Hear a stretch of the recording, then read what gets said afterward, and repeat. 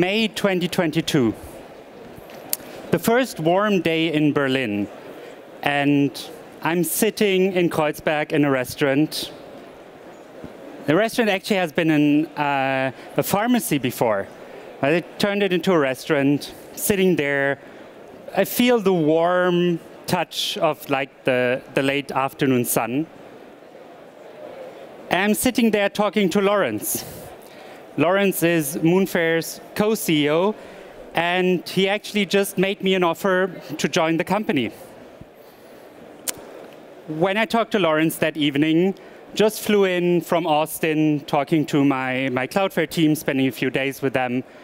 And when I joined Lawrence for that dinner, I had like a few interviews before, and we talked, and he said, "Yeah, I think Moonfare is the right moment, the right company.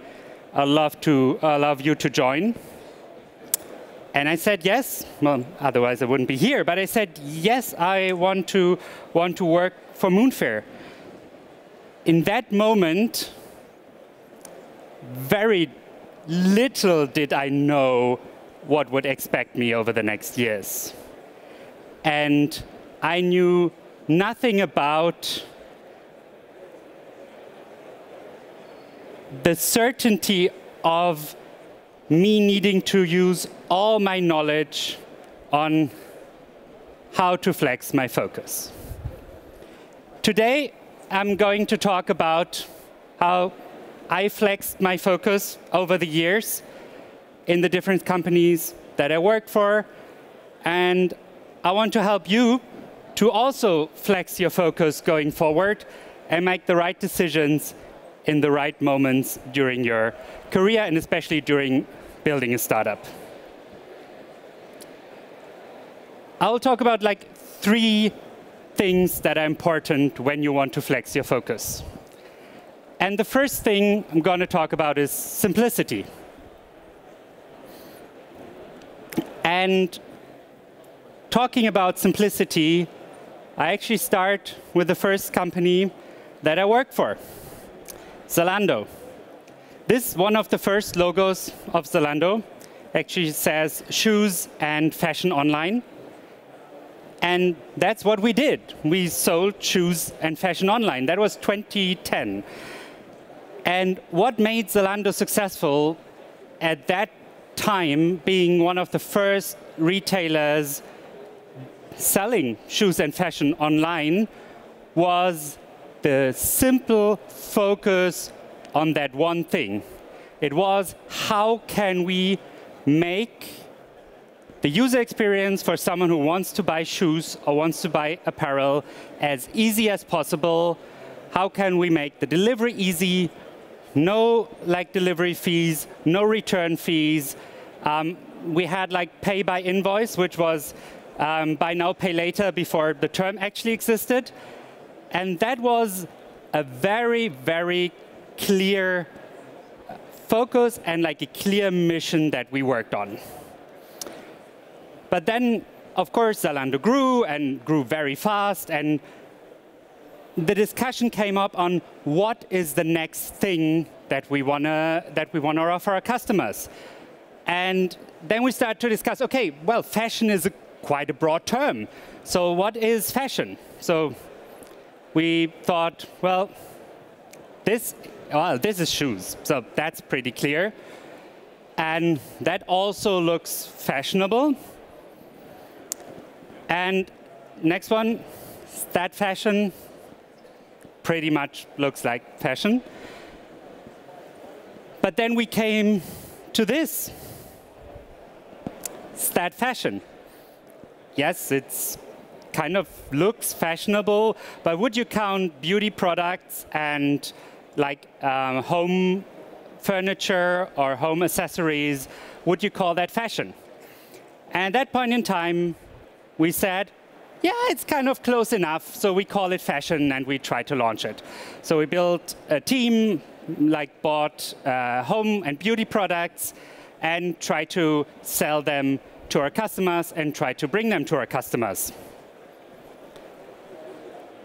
What we figured out is that one of our key propositions wasn't working as well as we thought. And one of our key propositions was logistics. This is one of the Zalando warehouses. I was actually luckily part of building that up with like our own technology at that point in time. And we learned quite fast actually that home and beauty products, while they might be fashion, they work quite differently to like apparel and shoes.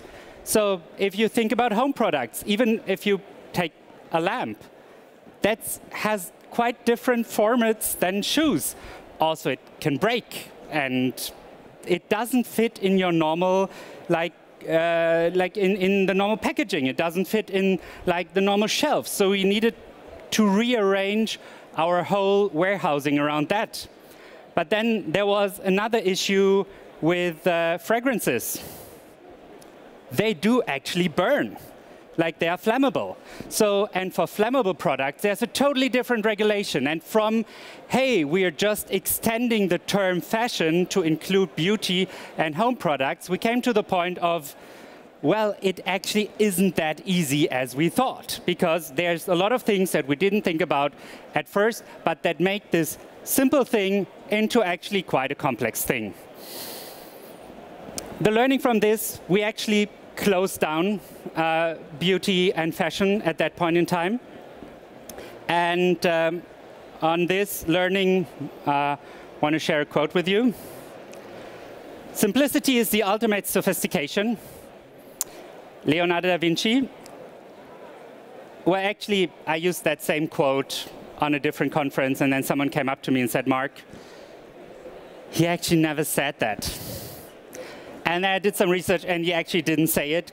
It's still a really, really good quote. So let's keep it. Let's stick with simplicity is the ultimate sat satisfaction, uh, sophistication. And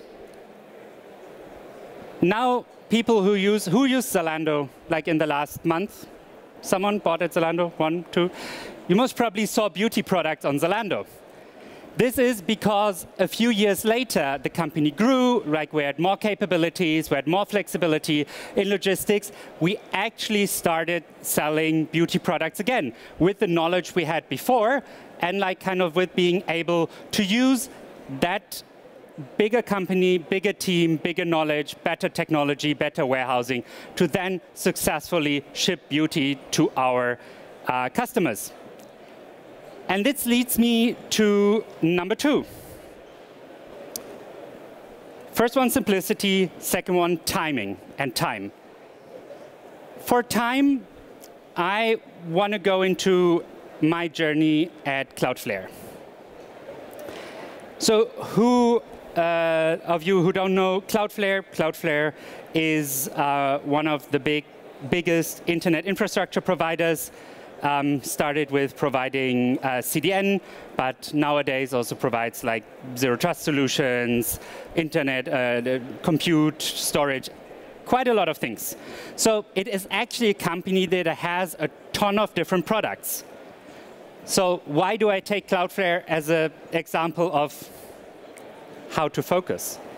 Well, Cloudflare has one very interesting thing. And that was something that Matthew, the founder and CEO, already introduced very early in the company, is it has a clear mission and a clear foundation that the teams can build on. So the mission from day one has been helping to make the internet better. And that is the basis of what everything that Cloudflare teams should be working on is. And that means, in the end, there is already like a first level of a boundary around like what teams can do. And the second one, he also made it very clear that things need to be built on top of each other and that we need to make sure that we're taking the right steps one after another and that you can't start at the end of a big product. You have to have the foundation ready. And one thing that Cloudflare uses every year during their birthday, they have a birthday week where they announce new product launches, where they announce new products that uh, have been envisioned. And in that birthday week, there's always one main theme. And going through a few birthday weeks with you, you'll see that they're all built on top of each other. So in year one, Cloudflare announced IPv6. Like, that was pretty new by then. It existed, the technology existed for a while, but they said, okay, we'll be IPv6 compatible throughout, and we want to really make this the new standard. And then in year four, they said, okay, HTTPS is a cool thing, but usually at that point in time, you still had to pay extra for it. They say, okay, we get rid of, we don't have to pay extra, we just give encryption to everyone for free. And that is like kind of, it's building up on, well, first we have the infrastructure, and then we're building the next step on top. And then in year seven, they announced Edge Compute, Cloudflare Workers, which in the end allowed everyone to like render, build, calculate, compute their website as closest as possible to the actual user, which made everything faster, run everything, make everything run smoother, and that was like a really, really big step. But it also needed all the infrastructure that Cloudflare had built before.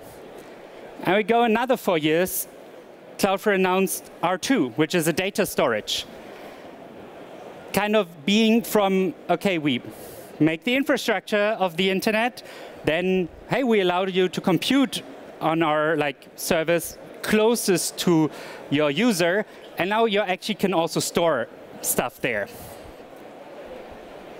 And then, well, next step, year 13, which was actually last year, they announced, okay, now we want to, on one hand, also run, you are able to run like AI LLMs on our edge. We're making them secure because that's actually something that is really important. And you can use workers with that. But all of that actually depends on what has been done before. So in the end, it is a lot of different products. And when you think about like having AI on the top of the pyramid that we're talking about versus, okay, we launch IPv6 for everyone, that's quite a journey, but there is like the right timing and there's the right building on top of each other through this journey. And in the end, you end up with a nice pyramid. And on Cloudflare, I want to give you one example of a product that my team and I actually built based on this uh, on this framework and based on this foundation. So most of my time when I worked at, at Cloudflare, I was part of what they call ETI, which is Emerging Technologies in Incubation. That's where our job is to build new things, which is kind of cool, but goes against, okay, let's focus on something. But I'll give you an example of one product where it is new, but it's also not new. And this product was Cloudflare Images.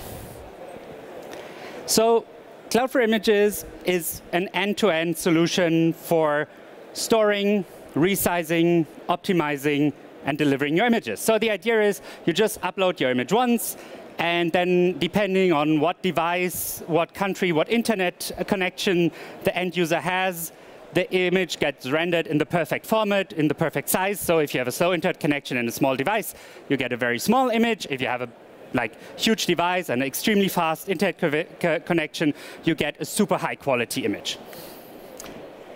And to build that, we needed two really important um, ingredients. The first one, storage. Because, well, we needed to store those images somewhere. And the product was only viable from the moment on where we had our own storage solution.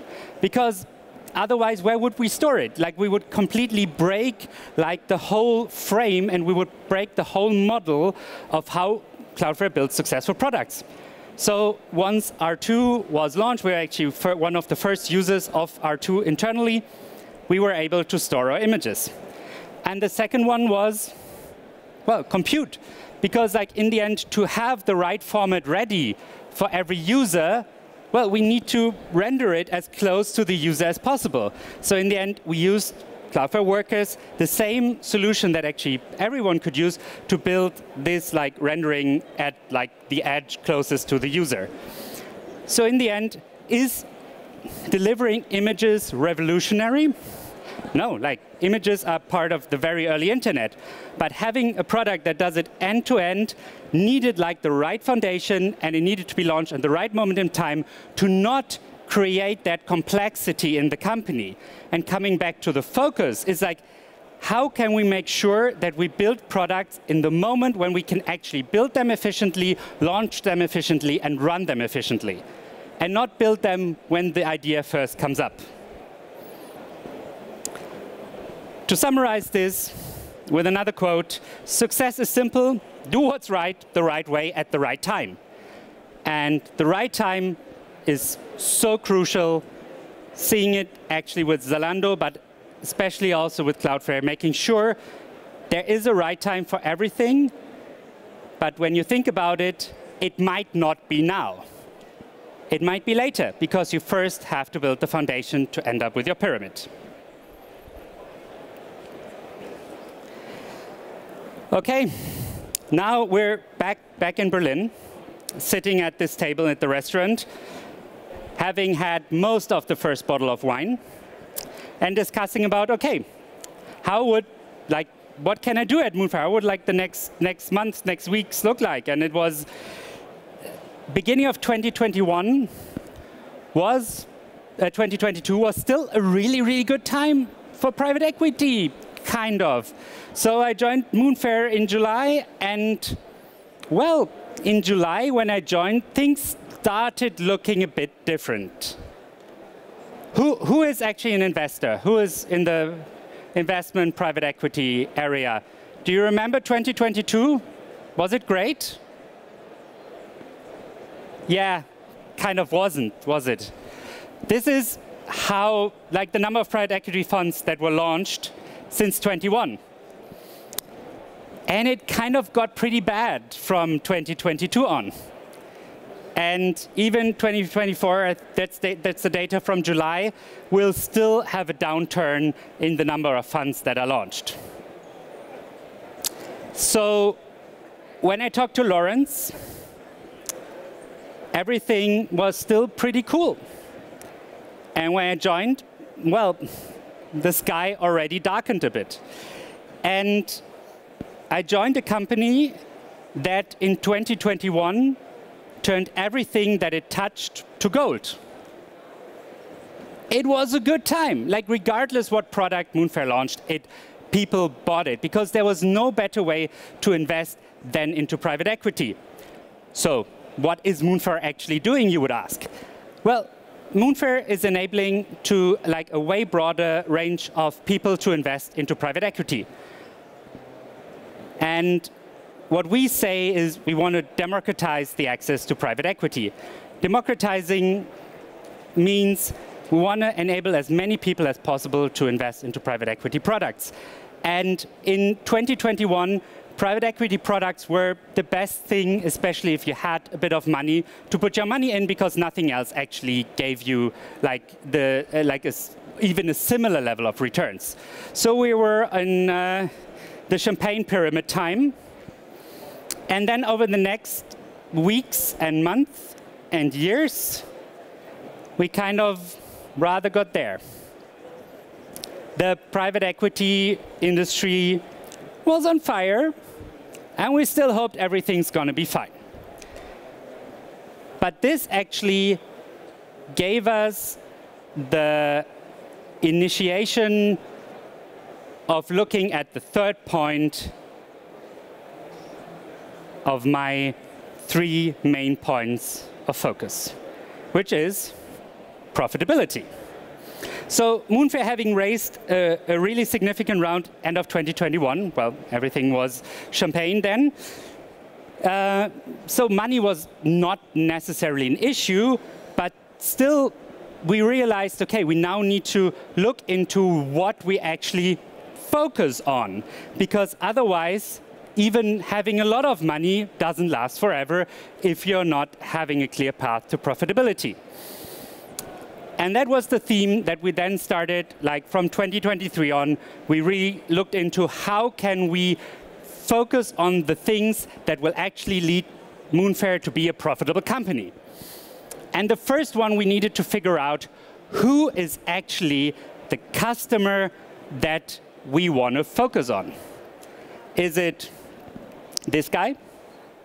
Or her? Or her? Or is it maybe her? Or my favorite picture ever is actually, this picture is like in a huge frame in our office. And I always have to laugh when I see it. The guy watering his lawn in his suit. Or is it maybe that lady? Or this guy? Or, or maybe this one? And the answer is, well, potentially all of them and potentially none of them. But we, what we did in 2023 is to talk to all of those types of customers, to look at our data, to really double down and going from, hey, we're just we're just serving everyone because everything we do turns to gold, to well, let's talk to those customers, let's look into the, uh, into the data, let's look into the funnel, and let's make sure we know who we're actually selling to. And we came up with a framework like starting with ultra high net worth individuals, high net worth individuals, mass affluent users, uh, uh, users and retail investors. And we made the very, very tough decision to delay our democratization process because democratization for most of us means, well, of course we want to sell to everyone. Like, but that was not profitable. It couldn't work. So we decided we have we focus on ultra high net worth and high net worth individuals first, then go to affluent, and then go to retail. Like remember the pyramid I talked about earlier? Like it's the same thing. Let's start at like some point where we know how to deal with those investors, and then let's get broader and broader. Let's start with where we know that this could make us money and go further to what to like the user groups where we actually need to build much more groundwork, where we know that we need to do the groundwork and where we need to like build something that is completely different to what we need for like targeting high net worth individuals. And you've heard I'm a product guy. So I want to talk about product. And this is if you would turn the product vision of Moonfare in 2022, like if you make a picture out of it, it would be this.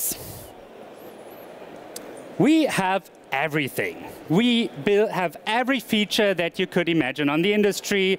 Like we've target every customer, every business model, and we'll just add everything to our platform because everything turns to gold. You remember? But Moonfare is a 200 people company. Like we don't have neither the engineering nor the operations nor the product team to actually maintain such a platform that does everything. And that was like the main path that we had to go through, is like to really go from this to that. And to really go from, we have a platform that has everything and continuously go and kill functionality. There's no other way if you're in the position of everything is complex, you can't focus, you have a ton of features, you're spending more time on maintaining your platform than actually on building your platform, than maintaining your company, than actually continuing to grow your company then you have to go from this to this and really make something that is extremely good, but that also has a really clear focus of what you're doing. So going back to the private equity industry, we see still going down, but we see one interesting thing if, you look, if we look at Moonfare AUM. We actually took the turn and we actually used all the flexing of our focus we could do in 2023 to turn around and actually starting to grow compared to the industry again. And that was really, really important, and that is the first path to profitability. Adding another quote here, the simplest one because less is more. Summarizing, three different, three important things. Simplicity, time, profitability. Have those in mind when you're building your company, when you want to make sure that you stick to a focus and that you're not getting lost in complexity. This is the way on how to flex your focus. So ask me, Marc, you talked 27 minutes now, or 25 minutes. Now what? So now I want every one of you to take a pen or a phone in your dominant hand and write on your hand, what are you going to focus on in the next half year? Please, write down, like, and then show your neighbor. What are you going to focus on? Anyone focusing on something? Or are you going to build like the everything?